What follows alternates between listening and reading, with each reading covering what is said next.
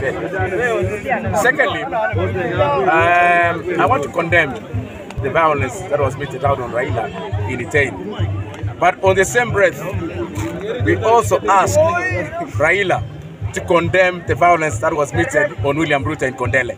Yes. It's not only, it's not to say the violence in Iten, in, in Uasin Gishu, was one-sided.